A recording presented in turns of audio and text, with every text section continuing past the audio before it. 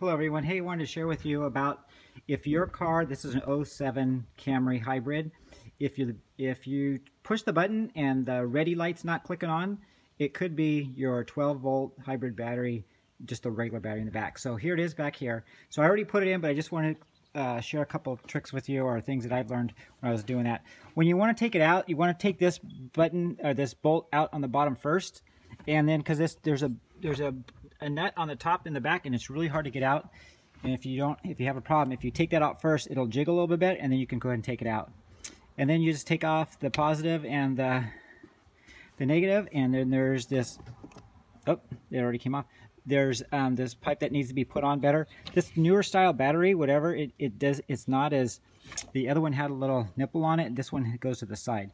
But then there's a little clip on the back too. You just have to clip it and undo it. So that's take a look. But what I want to show with you is if you come in here in the car, I didn't see it. I see a lot of Priuses showing this, but if you press this button and you let your video come on, this is how you can check if your battery, in fact, when my battery is so dead, this would not work. So if this doesn't work, your battery's probably gone too. And I would tell you is um, on your dash, if it's if you're pressing the button and it's not coming on right away, I would start working on it closely because within a day and a half, my battery was gone. But what you do is you um, you turn that on, and then you go to um, turn on the hold the info button, which is here. Hold the info button, and then click the lights three times. One, two, three. And then you're going to get this screen right here. Then you're going to hit menu. And then you're going to hit display check. And then you're going to hit vehicle signal check. And there's your battery right there. See how it's 711.8? In fact, uh, because I started the car, it's actually a little bit higher. So when you turn on your lights, it should go down. See how it goes down? But that's how you check it. So, um, because my main battery, I had to replace two cells in it.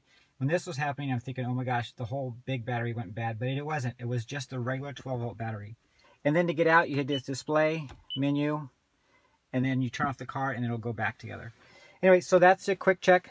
If your your ready light isn't coming on, so like when you go here and you press the button and see how the ready light's coming on, it wasn't coming on, or I was having to press, press it a couple times before it actually came on. So, um, and this battery actually lasted 11 years, so it was actually pretty good. Um, that, that's pretty good life of the battery. Um, you can get at your dealer. I bought mine just from the dealer. It was about $350. I got a discount on it, about 10%, but it's about 350. was shared. Um, you could look around. I would call the different dealers because their prices were differently. Um, there was an Optimum battery, but it, you had to do some special stuff to it, and I just don't think it was worth it.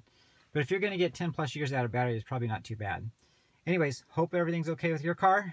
Try this, and good luck.